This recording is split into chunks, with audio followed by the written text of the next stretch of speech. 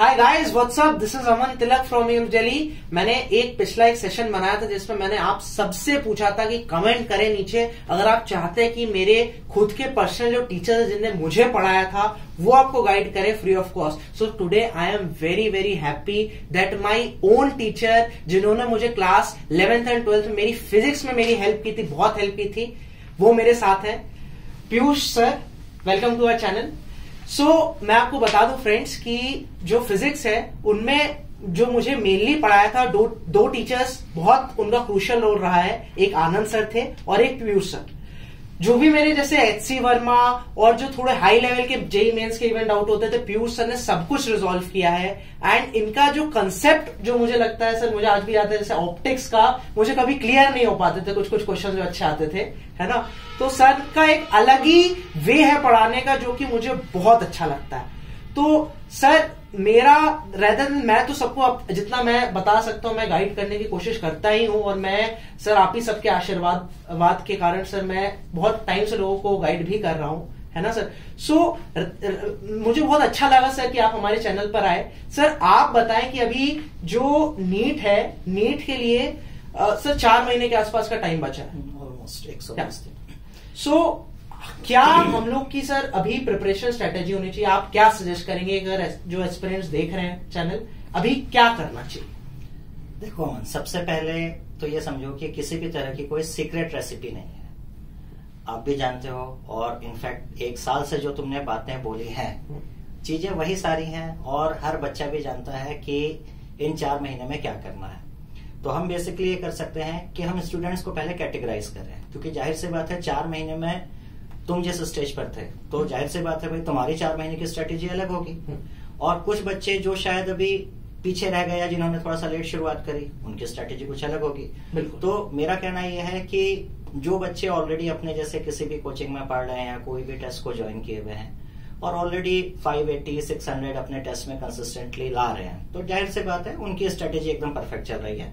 No need to change क्योंकि वो score कर रहे हैं 600 650 700 उसको हम क्या करेंगे? उसका सब कुछ बढ़िया चल रहा है। हम्म। बाकी एग्ज़ाम वाले दिन दो तीन सवाल ऊपर नीचे होते हैं जिससे रैंक में किसी का वन आ जाएगा किसी का हंड्रेड आ जाएगा। तो ठीक है उनका सब कुछ ओके है। अभी जो बच्चे 150 या 200 पर हैं तो ज़ाहिर सी बात है कि उनके लिए तो बहुत ही बेसिक से हमको चलना पड़ेगा। बट ये जो हमारे पास टाइम बचा है बेसिकली यहाँ पे वो बच्चा जो कि सबसे ज़्यादा कह लीजिए पॉपुलेशन में है और जो स्कोर कर रहा है अपने टेस्ट में मान लीजिए 300, 350, इवन 450 तक 500 तक उसके लिए अभी एक बहुत कह लीजिए क्रुशियल टाइम है कि वो अपने आप को अडॉप्ट कर सकता है। सबसे पहले ये समझना होगा मैं तुम लोग को भी पढ़ाता था या मैं जिस भी बैच में पढ़ाता हूँ तो सीधी सी बात बोलता हूँ सिलेक्शन आपका डिसाइड होगा सिर्फ़ और सिर्फ़ बायो से तो नो डाउट बायो के लिए जाइए। बायो में आपको एडवांटेज क्या है कि बायो में आपका जो सिलेबस है वो एकदम क्लियरली मैंशनड है कि ये मेरी एनसीआरटी की किताब है और मुझे पता है नब्बे में से अस्सी सवाल वहीं से आ रहे हैं। ठीक है ना? तो अस्सी क्या हो सकता है? एट्टी फाइव क्वेश्चन भी आ हाँ, जाए। तो जब से नीट आया हाँ। है तब से और हाँ, ज़्यादा ही बढ़ तो जब से एनटीए वाला करा रहे हैं हम मान के चल सकते हैं एट्टी फाइव क्वेश्चन का सिलेबस मेरे को क्लियर है। ठीक है ना? अब कहना तो बड़ा आसान हो जाता है कि हाँ भाई एनसीआरटी पढ़ लीजिए। लेकिन जब मैं बच्चों से पर्सनली बात करता हूँ तो इश्यू तो ये आ जाता है बच्चे भाई अपना पढ़ रहे हैं बट रिटेन नहीं करते हैं। तो रिटेन कैसे किया जाए कैसे नहीं किया जाए इस पे ऑलरेडी इतने सारे यूट्यूब पे वीडियोज़ हैं सब जानते हैं बट हर बच्चे को अपना एक लेवल देखना पड़ेगा। या हम लोग किसी और दिन फिर बात करेंगे कि कैसे रिटेन किया जाए क्योंकि फिर वो टॉपिक थोड़ा सा लंबा हो जाएगा। हालाँकि की बहुत सिंपल है वर्ड्स हम बोले रिविजन रिविजन रिविजन बट फिर बच्चा पूछता है कि, सर रिवीजन कैसे करें। फिर उसकी टैक्टिस हो जाती हैं कई। सारी तो मेन फोकस वो अपना बायो पे रखे बायो। में भी अपना पाँच साल का पेपर उठा ले, दस साल का पेपर उठा ले किसी की ज़रूरत नहीं है, कोई एनालिसिस ऐसे कोई बहुत भयंकर एनालिसिस नहीं होती है पाँच साल का पिछला पेपर उठा ले, उसको खुद आइडिया लग जाएगा कि किस सेगमेंट से कितना क्वेश्चन आ रहा है तुमको भी हम बोलते थे एनिमल क्लासिफिकेशन जैसा पार्ट है जहाँ से कम आ रहा है आपको नहीं हो रहा, उसको थोड़ा सा लूज कर दीजिए बट फिजियोलॉजी पार्ट है जेनेटिक्स पार्ट है जो आपका जेनेटिक इंजीनियरिंग वाले पार्ट है भाई वो इंपॉर्टेंट है उसको आप अपने कंट्रोल में रखिए। सेकेंड पार्ट हम बोलेंगे केमिस्ट्री केमिस्ट्री में बस जो बच्चा गलती करता है वो इनऑर्गेनिक को थोड़ा सा बोरिंग समझ के चलता है हम्म। कि उसमें तो सर याद करने का होता है नहीं होता है बट आप थोड़ा सा ध्यान देंगे इनऑर्गेनिक का क्वेश्चन बैंक आज भी हज़ार या फिफ्टीन हंड्रेड क्वेश्चन का मैक्सिमम होगा। कुछ नहीं भी आप रेट्रोगेटिव पढ़ सकते हैं क्योंकि इनऑर्गेनिक का पोर्शन भी देखिए फिफ्टीन क्वेश्चन का लेकर बैठेगा। अगर आपका अब वही बात आ जाती है ऑर्गेनिक केमिस्ट्री के लिए फिर हम एक सिंपल सा बोल देंगे कि अपना कॉन्सेप्ट स्ट्रॉन्ग करिए। हालाँकि मेन इश्यू यही है कि कॉन्सेप्ट कैसे बनेगा। ठीक है ना? और फ़िज़िकल में क्योंकि नीट वाला बच्चा थोड़ा सा अवॉइड करता है कैलकुलेशन की वजह से उसको आप लास्ट में भी रख सकते हैं। अब मेन फोकस आता है फिजिक्स पर। तो फिजिक्स में देखिए फिजिक्स डिसाइड करता है रैंक तो हमारे पास एक कैटेगरी अलग है जैसे तुम लोग थे। तो तुम लोग को एक्चुअली हम पढ़ाते नहीं थे। हम्म। तुम लोग हमसे या कोचिंग के भरोसे तो थे नहीं। तुम लोग अपना भाई दो तीन चैप्टर ऑलरेडी आगे का रखते थे। तो तुम लोग को कभी हमने बेसिक से नहीं बताया। तो तुम लोग के जैसा मैंने बोला आप हाँ, सबसे हाँ, जैसे मेरे एच सी वन में कुछ डिफ़िकल्ट हाँ, डाउट्स और कॉन्सेप्चुअल हाँ, जो कि बहुत अच्छे अच्छे क्वेश्चन हाँ, होते थे। तो इनफैक्ट हाँ। जो बेसिक पोर्शन होता था वो तुम लोग खुद ही इतना क्लियर करके बैठे रहते थे या मॉड्यूल्स होता था।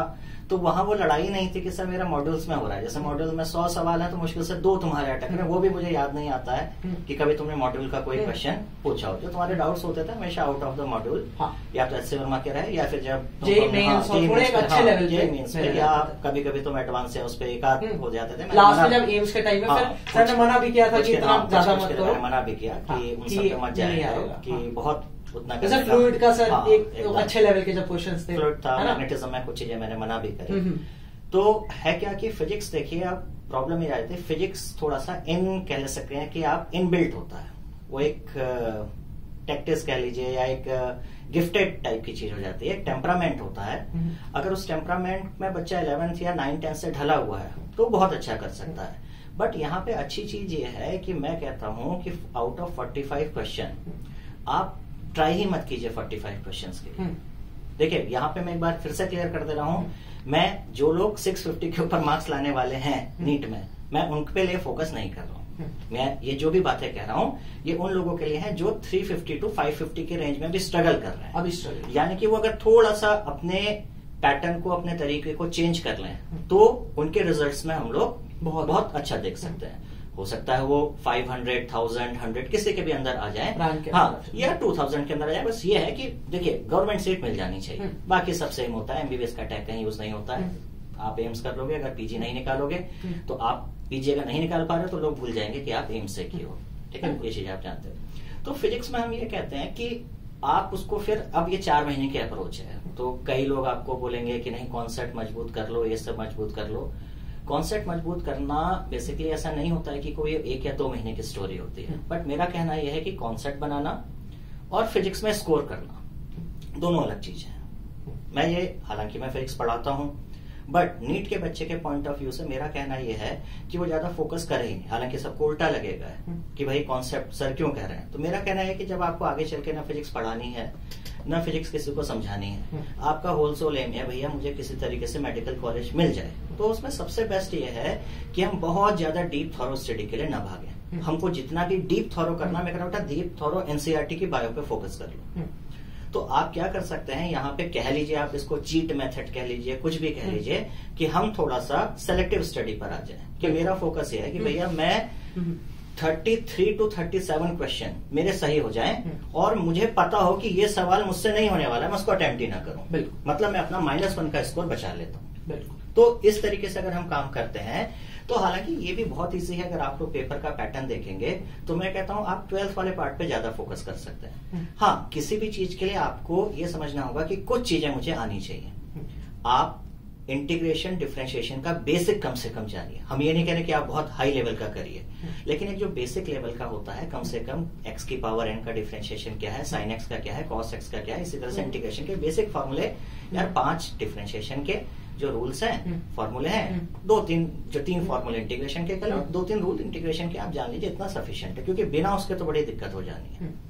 इसके बाद आप क्या कर सकते हैं जैसे अगर आपको टोटली इंटीग्रेशन अवॉइड करना है तो ये जो पीछे के जो पार्ट है मॉडर्न फिजिक्स जिसको हम कहते हैं बेसिकली हम एटम न्यूक्लियाई और आपका जो डुअल नेचर है उसकी बात कर रहे हैं। छह सवाल आपको वहाँ से भी मिल रहे हैं आप थर्मोडाइनमिक्स पे आ सकते हैं। ठीक है? एक हमने एक तुम्हारा मैंने सेशन देखा था लास्ट ईयर हम्म। किसी के साथ था? मुझे याद नहीं आ रहा है किस अच्छा। बच्चे के साथ था। हाँ। उसका नाम याद नहीं आ रहा है। जिसने थर्मोडाइनिक्स पे बड़ा अच्छा सा बोला था कि ऐसे करके चार पाँच चीज़ें हैं हीट अच्छा, एनर्जी का कॉन्सेप्ट नवदीप सिंह शायद शायद। अब मुझे नाम नहीं है। हाँ। लेकिन एक बच्चे ने बड़ा अच्छा उसने समझाया था। हाँ। तो मैं तो ये कहूँगा कि अगर हो सके तो उसका लिंक बच्चों को उस थर्मोडाइनमिक्स वाला वीडियो में डाल देना।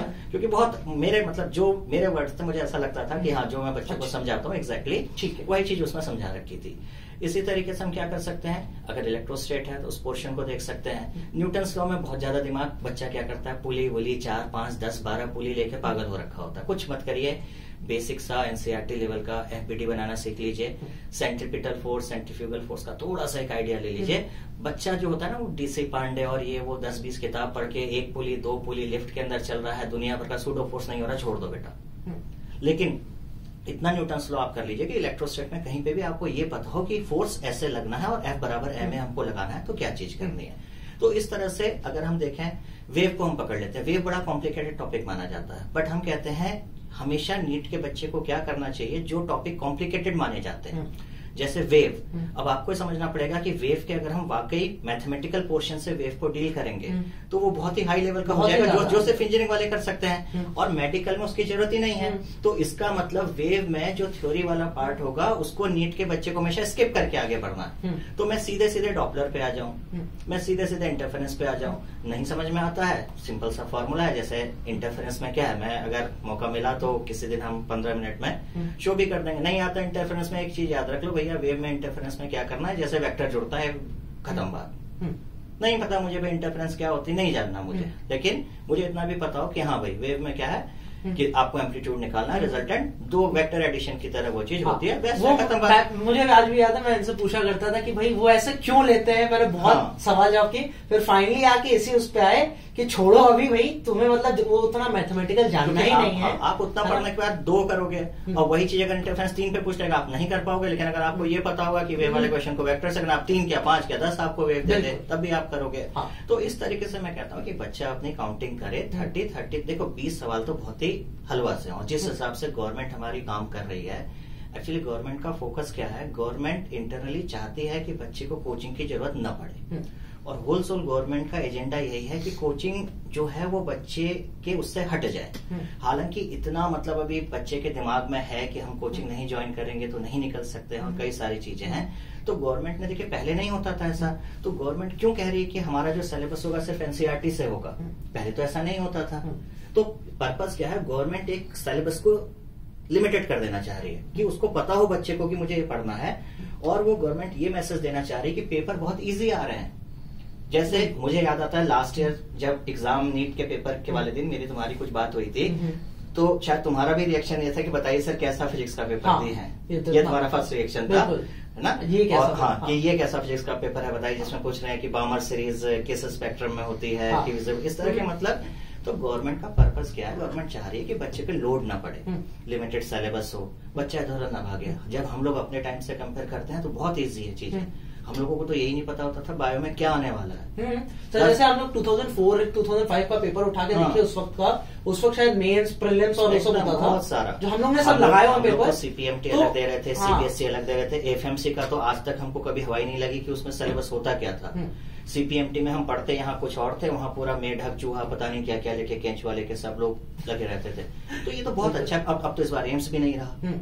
बच्चा जो कह रहा था कि भाई एम्स में ये होगा तो कहीं ना कहीं पे हम्म। इजी है मेन चीज़ क्या है देखिए आपको ये समझना पड़ेगा कि हर बच्चा अपने आप में यूनिक है हर आदमी जानता है हम्म। ऐसा नहीं है हम लोग वीडियो बनाते हैं सब कुछ करते हैं और एडवाइस देते हैं हम्म। लेकिन अगर मेरी बात समझोगे किसी बच्चे को कभी बोलो कि ईमानदारी से तुम सोचो हम्म। सिलेक्शन कैसे लेना है हम्म। हर बच्चा जानता है कि उसका सिलेक्शन कैसे होना है हम्म। बट इश्यू क्या है वो ये चीज़ एक्सेप्ट नहीं करना चाहता है हम्म। क्योंकि अगर वो चीज़ एक्सेप्ट कर लेगा कि मुझे मालूम है सिलेक्शन कैसे लेना है तो वो जो प्रोसेस है वो कभी भी इजी नहीं होगा हम्म। उस प्रोसेस पे एक्शन लेना पड़ेगा तो वो क्या करता है ना वो अननोन बन जाता है। हम्म। अरे I don't know how to get success वो तो वही बता सकता है जो टॉप किया होगा। हम्म। तो वो डिपेंडेंट रहना चाहता है। बिल्कुल, है कि नहीं? तो अब वो खुद से देखे कि यार मेरा क्या पार्ट स्ट्रांग है क्या चीज़ नहीं है क्या मुझे चीज़ें याद होती हैं? हम्म। हाँ। अब यहाँ पे कुछ बच्चों की समस्या होती है। सर हम पढ़ते हैं भूल जाते हैं। हम्म। इनफैक्ट एट्टी परसेंट बच्चे की समस्या यही है। हम्म। हम बोल तो देते हैं किसी भी बच्चे को यहाँ पे कि बेटा एनसीआरटी पढ़ लो। हम्म। अब सवाल है एनसीआरटी कितनी बार पढ़ लो? हम्म। है कि नहीं बिल्कुल तो अभी मैं तुमसे ही पूछूँ कि भाई एनसीआरटी कितनी बार पढ़ लो हम लोग जैसे टू डिजिट में पढ़े थे है ना? है ना दस बार ग्यारह बार हम्म। अब मेरा कहना ये भी हो जाता है कभी कभी कि पढ़ना और एनसीआरटी को रिटेन करना करना। तो मेरा कहना है कि जो चार बार में नहीं रिटेन कर पा रहा है हाँ। हो सकता है पाँच में भी ना करे हाँ भी जिसने पंद्रह में नहीं किया सोलह में कैसे कर लेगा हाँ। और अगर किसी को रिटेन करना है हो वो सकता दो है, या तीन दो बार तो मेरा कहना है कि किसी ने आके हमको बोल दिया कि मैंने पंद्रह बार पढ़ी थी। हम्म। अब दिक्कत यह है कि अमन तिलक कैसे पढ़ रहा है और अमन तिलक क्या रिटेन कर रहा है। हम्म। ठीक है ना? और एक दूसरा कोई लड़का है एक्स वाई जेड वो कितना पढ़ा है और वो कितना रिटेन कर रहा है? हाँ। ये तो सिर्फ़ अमन तिलक जानता है ना? हाँ बिल्कुल। कि मेरे पढ़ने के बाद मैंने कितना रिटेन किया। हाँ। तुमने दस बार पढ़ा अब मुझे बताओ कि जब तुम पढ़ते थे हम्म। तो आठवीं रीडिंग में क्या तुम पढ़ते थे? या पढ़ने से पहले ही बुक से आगे का सोचने लग जाते थे। ये चीज़। अंडरलाइन मैंने की हाँ तो यही मैं बच्चों को समझाता हूँ हाँ। कि एक्चुअली जब कोई हमारा यहाँ से बच्चा आता है और वो कहता है मैंने दस बार एनसीआरटी पढ़ी थी। हाँ। बेसिकली तुमने दस बार एनसीआरटी ऐसे करके नहीं पढ़ी थी। वो तो दो दो बार हाँ तुम क्या करते थे? किताब रखते थे और सोचते थे यहाँ पे क्या क्या लिखा हाँ। है? घट घट घट तुम्हारे पॉइंट क्लियर रहते थे तुमने सोचा कि ये मैंने लिखा हुआ है। हम्म। तो तुम उसको रिविजन कर रहे थे। हाँ। री प्लस विजन हाँ। तुम एक्चुअली बुक को नहीं देख रहे थे तुम्हारे हाँ, हाँ। तुम्हारी आँखों के आगे एनसीआरटी आ जाती है हाँ। तो तुम बस चेक करते थे हाँ। कि वो मैच कर रही है कि नहीं कर रही है और हमारा कई बच्चा हाँ। सोचता है कि वो पेन लेके अंडरलाइन करके ब्रश लेके ऐसे ऐसे रंग देगा हाँ। तो सबको देखो सबके सारी लाइन रंग जाती है हाँ तो कई बार यही नहीं समझ में आता है जो रंगा है वो पढ़ना है कि जो छूट गया है भाई रंगने का पर्पज क्या रंगने का पर्पज यही है ना कि जो खास चीज़ है वो नोट हो जाए हम्म। तो आप तुमने खुद भी नोट किया होगा कई बच्चों की इतनी ज़्यादा रंगीन हो जाती है हमको समझ में ही नहीं आता फ़ायदा क्या ठीक है? सब तो बेसिकली इन शॉर्ट अगर हम बात करें तो बच्चा जो सिलेक्शन चाह रहा है देखो सिलेक्शन का मतलब एक तो वैसे ही बड़ा इस साल का देखकर 580 हमारा लास्ट कट ऑफ़ कितना गया था इस बार? जहाँ तक मुझे 575 तक ऊपर ऊपर चला गया ना है ना? तो 575 तक का कट ऑफ़ भी इस हिसाब से जा रहा है। पिछले से पिछले साल वाले में मेरे छह स्टूडेंट्स थे। हम्म, 540 के आसपास पाए भी। हम्म, फिर रिपीट किए हम्म, 560 पर आ गए हम्म। बट कहानी वही हो गई वैसे- भाई इम्प्रूवमेंट था हम्म। तो अब ये भी कुछ लोग तो ऐसा हाँ। ऐसा लिख रहे हैं कि my marks improve by 25 marks and rank decrease हाँ, बाय 2000 है। हाँ रैंक डिक्रीज बाय 2000 बहुत सारी चीज़ें हो रही हैं बट हम कह रहे हैं कि हम एक एजेंडा बना के चल सकते हैं हाँ। कि मैं मान के चलता हूँ कि 600 मेरे लिए सेफ़ मार्क है हम्म, हो सकता है कुछ सीट्स बढ़ जाएँ लेकिन हम फिर भी अपर साइड पे लेके चलते हैं कि मेरा टारगेट 600 का है हम्म। तो 600 कहाँ से अचीव होगा इस स्टेज में हम्म। मैं फिर कह रहा हूँ जो बच्चा अपने पेपर में ऑलरेडी 650 पार ला रहा है उसके लिए तो हमारी ज़रूरत ही नहीं है बिल्कुल जो बच्चा 350 450 ला रहा है वो कहाँ देख सकता है हम्म। भाई वो सबसे पहले बायो में कवर करने की कोशिश करे। अगर वो बायो में 360 में से 280 300 ला रहा है। तो वहाँ 30 40 नंबर इजिली वो ले सकता है जो इनऑर्गेनिक वाला पोर्शन केमिस्ट्री में वो अवॉइड करने की कोशिश कर रहा है उस इनऑर्गेनिक वाले पोर्शन पे फोकस करे हम्म। वहाँ से वो पाँच दस नंबर या पाँच दस सवाल बनाने की हम्म। कोशिश करे तो अगर हम टोटल जोड़ते हैं मान लो हम 340 के आसपास और देखो ये जो मैं बातें कर रहा हूँ लगभग लगभग सभी जो भी एक हम्म। एक्सपर्ट कह लो या जो भी गाइडेंस देगा वो यही कहेगा कि आप 330 के आसपास बायो में स्कोर करने की कोशिश कर लीजिए 140 के आसपास आप हम्म। केमिस्ट्री में लाने की कोशिश कर लीजिए तो दोनों मिला के 470 हो जाता है है कि नहीं? हम्म। अब कितना बचा? 130 तो 130 डिवाइडेड बाई 4 कर लो। हम्म, कितना हो रहा है? 33 वही हमारे वाला नंबर आ रहा है। हम्म। 33 इंटू फोर। तो मैं कह रहा हूँ हम थ्री थ्री डबल थ्री का एक टारगेट ले लें हम्म, है ना? तो 12 सवाल तो आप वो पहचान लीजिए मुझे टच ही नहीं करना है। और वैसे भी देखो जो बच्चा 350 450 ला रहा है उसकी एक समस्या ये भी है कि वो थोड़ा सा ज़्यादा टाइम लेता है। वो बायो में ही एक्चुअली थोड़ा सा सोचने में। क्योंकि उतना रिस्पॉन्स नहीं दे पाता। और इसमें कोई किसी की गलती नहीं है। जब तुम तैयारी कर रहे थे तुमसे भी तेज स्टूडेंट्स रहे जो तुमसे तेज रिस्पॉन्स देते रहे थे? और कुछ है ना तो ये हम नहीं कर सकते। तो उसकी प्रॉब्लम ऐसे भी हुआ है कि 45 क्वेश्चन फिजिक्स पे कभी जा ही नहीं सकता। हम्म, हम्म, तो हाँ। इस बात पे फोकस कर ले कि मुझे टच ही नहीं करना है। हाँ, जैसे तो दस क्वेश्चन छोड़ दी लेकिन उसे देखिए कि ये लेकिन उसे ये पता चल जाए कि ये देखते ही पता चल जाए।